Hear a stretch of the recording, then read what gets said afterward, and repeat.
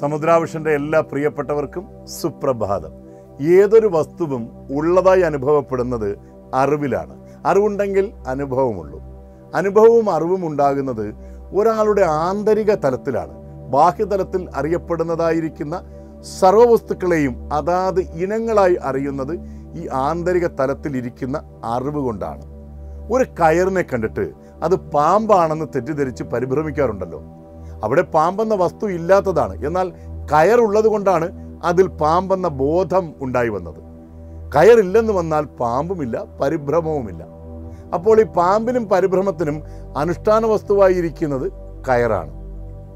അതുപോലെ ഈ പ്രപഞ്ച ഘടകങ്ങളെല്ലാം ഉള്ളതായിരിക്കുന്നത് ഒരാളിലിരിക്കുന്ന അറിവിലാണ്. ഈ അറിവാണ് അയാൾ അറിയുന്നതിന്റെ എല്ലാം അധിഷ്ഠാനമായിരിക്കുന്നത്. യഥാർത്ഥത്തിൽ ഉള്ളതായിരിക്കുന്ന ഈ അടിസ്ഥാനമായിരിക്കുന്ന അറിവ് മാത്രമാണ്. അതിനാൽ എല്ലാ അറിവുകളുടെയും ഏകാത്മഭാവമായിരിക്കും ഈ അറിവുമായി താതാത്മ്യപ്പെടണം. ഇങ്ങനെ ഒരു താതാത്മ്യ ഭാവം ഉണ്ടായാൽ ഒരു ബാഹ്യ വിഷയത്തിനും വസ്തുവിനും നമ്മെ കീഴടക്കുവാൻ കഴിയുകയില്ല. ഇന്നത്തെ ദിനം ഏവർക്കും നന്മ നിറഞ്ഞതാകട്ടെ. സ്നേഹപൂർവം ബിജു കിഴക്കനേന